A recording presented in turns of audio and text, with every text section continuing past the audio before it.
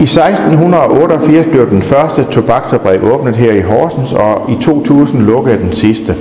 Og for gammel tid var det tobaksbinderen selv, som solgte sin vare, så vi står faktisk foran den, de ældste øh, former for specialforretninger i Danmark, en tobaksforretning. Den her er bare fra 1950'erne.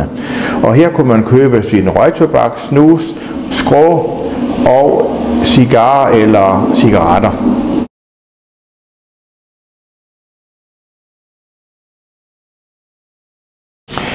I Industrimuseets uh, tobaksforretning sælges der tre forskellige slags varer, nemlig cigaretter, hvor vi har et bredt sortiment, cigarvarer, cerutter og uh, cigarillos, og til sidst har vi uh, røgtobakkerne og snusen og skråen herovre. Og så på gulvet der står nogle glas, og i glasene der er der moderne prøver på røgtobak, og så kan man løfte glasset af, og så kan man lugte, hvordan moderne røgtobak fra 2013, hvilken lugt det har.